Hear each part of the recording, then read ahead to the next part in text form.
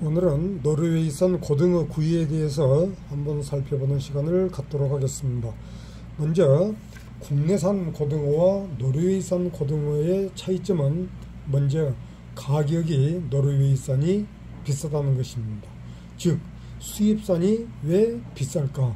그것은 고등어가 맛이 있고 살집이 통통하고 마블링이 잘 되어 있다는 것입니다.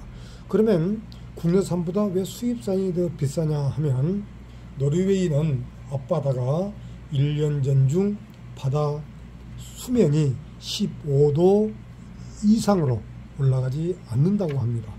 그러한 관계로 어족 자원이 풍부하기 때문에 노르웨이산 고등어는 잘 먹고 산다는 그런 뜻입니다. 그래서 우리나라 국내산보다는 노르웨이산이 품질도 좋고 가격도 비쌉니다.